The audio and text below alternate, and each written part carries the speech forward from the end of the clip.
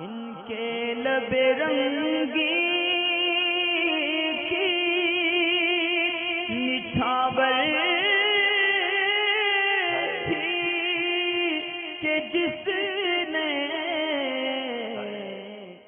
اب رہا یہ کہ امام صاحب کا یہ کہنا کہ اس طرح نماز نہیں ہوتی یا کسی مقتدی کا دوسرے نمازی کو دیکھ کے، کسی مکرو فعل میں مبتلا دیکھ کے اس کو یہ حکم لگانا کہ اس طرح نماز پڑھنے سے کیا فائدہ نماز نہیں ہوتی؟ جیسے کہ عموماً ہوتا ہے، اگر پیچے وغیرہ پاجامے کے یا پینٹ کے فولڈ ہوتے ہیں، تو ایسے میں ہمارے دوسرے مقتدی حضرات جو ہیں، وہ یہی فتویٰ دیتے ہیں کہ پیچے موڑ کے نماز نہیں ہوتی۔ تو یہ جو لفظ ہے نا، نماز نہیں ہوتی، یہ ہر جگہ دلالت نہیں کر سکتا۔ لہٰذا اس میں احتیاط برتنی چاہیے کہ کوئی فعل نماز میں مکرو ہونا اور نماز نہ ہونا، یہ دونوں بہت الگ الگ چیزیں ہیں۔ اور یہ معنی کے اعتبار سے بھی الگ ہیں اور احکام شریعت کے اعتبار سے بھی بالکل مختلف ہیں۔ اسی طرح اگر یہ کوئی شخص کہے گا کہ نماز نہیں ہوتی یا نماز نہیں ہوگی، ایسا معاملہ کر کے تو اس کا مطلب یہ ہے کہ وہ شخص یہ کہنا چاہتا ہے کہ تمہاری نماز سرے سے اسٹارٹ نہیں ہوگی یا پھر یہ ہو سکتا ہے کہ اس نے کہا نماز نہیں ہوگی یا نماز نہیں ہوئی، تو اس کا مطلب یہ ہوتا ہے کہ نماز فاسد ہو گئی اور مکرو تحریمی فعل میں نماز فاسد نہیں ہوتی۔ تو اگر کسی مقتدی سے کوئی ایسا معاملہ مکرو تے جیسے کہ یہ گلے کے بٹن کا معاملہ ہے کہ گلے کا بٹن ایک کسی نے مقتدی نے کھول کے نماز پڑھی، امام صاحب نے کہا کہ نماز اس طرح نہیں ہوتی۔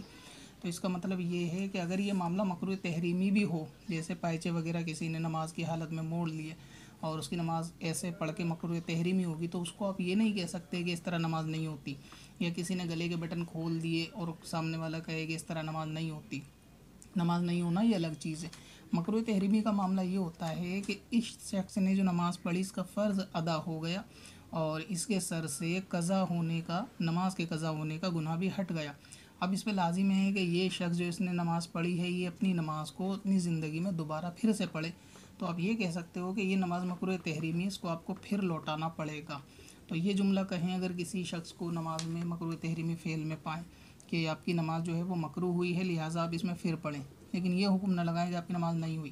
کیونکہ نماز مکرو اگر کسی فعل سے ہوتی ہے تو بھی نماز کا فرض ادا ہو جاتا ہے اور فرض ادا ہونے کا نام نماز ادا ہونا ہے۔